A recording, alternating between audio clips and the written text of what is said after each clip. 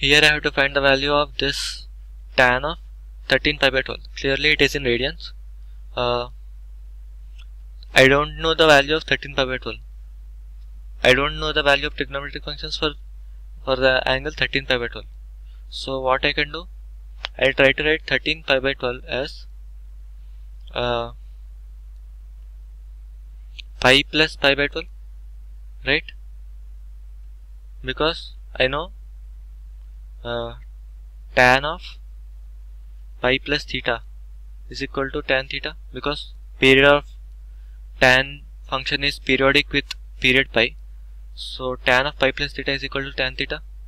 This means that tan of 13 pi by 12 is equal to this is equal to tan of pi by 12 correct?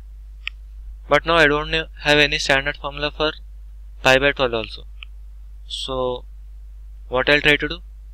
I'll write pi by 12 as uh, 4 pi by 12 minus 3 pi by 12 I am breaking it in this way because if I break it like this then I'll get pi by 4 pi by 12 is pi by 3 for which I know all the trigonometric functions values and 3 pi by 12 is pi by 4 for this also I know all the trigonometric function values. So if I write pi by 12 like this, then this is equal to tan of uh, pi by 3 minus pi by 4. Correct? So now I am I know the trigonometric identity tan of a minus b is equal to tan a minus tan b divided by 1 plus tan A into tan B correct this is the trigonometric identity which is always valid unless and until A minus B is equal to pi by 2 or 3 pi by 2 or something of that form. Here it is not A minus B is not pi by 2 or something. So I can apply this formula.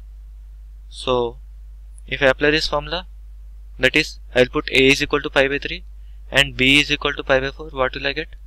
Uh, tan pi by 3 minus tan pi by 4 divided by 1 plus tan pi by 3 into tan pi by 4 I know the values of all each of these tan functions.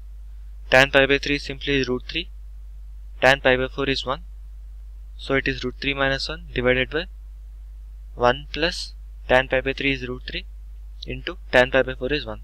So this is equal to root 3 minus 1 by root 3 plus 1.